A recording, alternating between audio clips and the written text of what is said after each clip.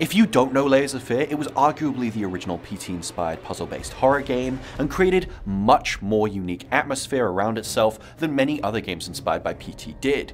If you're a fan of games like Visage, Outlast, or Resident Evil 7, but wish it had less shooting, then this is one you've got to check out. Layers of Fear is the game that thrust Bloober into the public eye, and now you can play the game in its best incarnation yet, as well as its DLC and its sequel, and an entire new game, all at the same time in one package. This is a unique approach to a series reboot, and I'm really interested to see what fans say about it.